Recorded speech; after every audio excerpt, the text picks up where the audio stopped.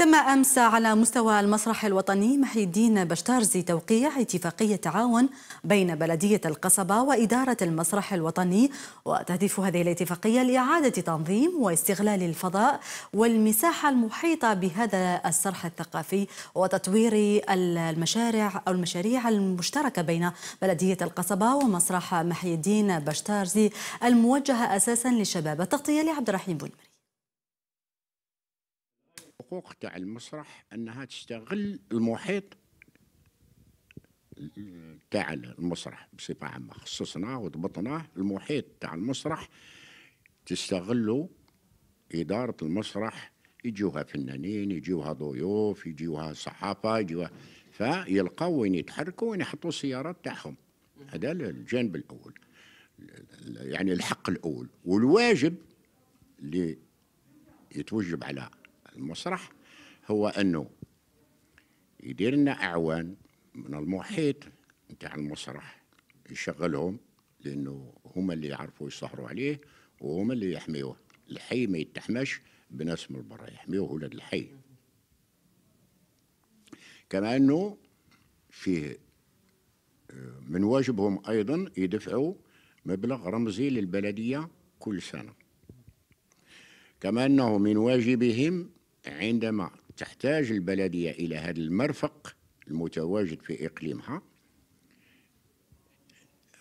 إدارة إدارة المسرح تسهلنا الأمور.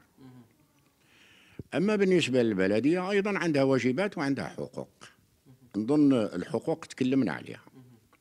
الواجب تاع البلدية أنها تبقى صاهرة بالتنسيق مع الطاقم هذا اللي راح يحرس المحيط تاع وتقوم بعملية النظافة وإذا كان تزيين إذا كان حاجة فهذه هي واجبات البلدية بصفة عامة. آه هذه الاتفاقية بالنسبة للمسرح أكيد آه تندرج في إطار آه عدد من الاتفاقيات التي تم إبرامها مع جهات مع عدة مؤسسات وهيئات. اليوم تأتي مع بلدية القصبة باعتبار أن المسرح الوطني الجزائري يقع في إقليم القصبة وأيضا الهدف منها هو آه، استغلال الفضاءات المتواجدة في محيط المسرح الوطني آه، وكذلك أيضا تنظيم ورشات تكوينية وفتح المجال لأبناء القصبة آه، إضافة إلى تنظيم وأنشطة ثقافية متنوعة بالتنسيق مع بلدية القصبة.